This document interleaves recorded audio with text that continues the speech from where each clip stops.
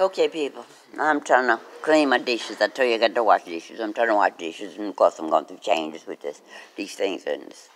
But there are a lot of people coming in this uh, storage facility that you can tell that they're not in the storage facility. And of course, when I pick up my phone, they vanish. Like the two just walk that way. Um, we have a lot of fires going here in California there should be a lot of evacuation. But I see a lot of new people coming here in the storage space. Why would they do that? I'm waiting on God to send somebody to evacuate me. I'm not trying to keep my things in storage. So why is all this activity here? Where all these, and like I tell you, you can tell by the class of people, they don't need these storage facilities. Some of them you can tell are government people. Some got money. They don't need no little unneeded storage spaces like this. So something else is going on here. Because as I said, all these wildfires here, and you go out looking for storage space in California, when you should be getting of a truck, trying to get out of town, makes no sense. See, they are senseless. And as I said, the caliber of these white people coming here now, you can tell they're not any storage space. All right, guys. Oh, at Miss uh, Meadows' office yesterday, while I'm on this, I'm making about three minutes. Mrs.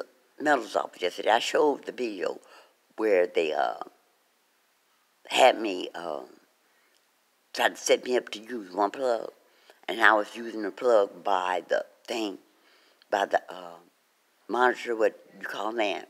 And my equipment was all to the side, but these things kept coming in, stepping on my cords and my equipment anyway. So I two of them. I said, don't you see my stuff there? Why would you step on? Because as a human being, as a person, if I see somebody's phone or stuff, I would not step on it. I would make sure, you know, even if I had to, I would make sure I never stepped on anybody's uh, devices. So I argued with two of them yesterday at Miss Meadows' office. Don't you see my things there? One of them talking about, well, move it. Well, all you had to do is say it was in your way. Why would you step deliberately on people's things? So I didn't bust with two of them. Actually, three. And then the third guy, white guy, he comes up and he steps on it. I said, Didn't you see my things there? He said, Yes, but I had to do it. And I knew then, because you could tell the way that he was, that he wasn't all there. And I tell you, to get in their bodies and they do things to force them without, against their will to do things. And when I asked him, I say, didn't you see my things there? He said, yes, but I had to do it. So he was forced to step on my cords, my phone cords. So these things are, I, that's why I can't judge anybody. You know, because I don't know who's doing what to who. You understand what I'm saying? So I can't pass judgment on anybody.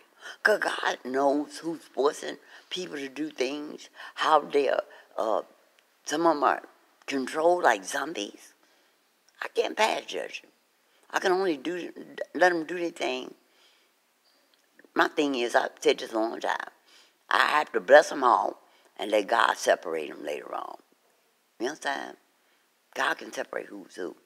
So I just bless everybody and let God separate them. What So I I was sorry for busting at him because, like you said, he couldn't help himself. He was being forced to step on my devices. All right, guys, I love you. Be prepared, be more, be aware. Things are still moving ahead at accelerated speed. God bless you.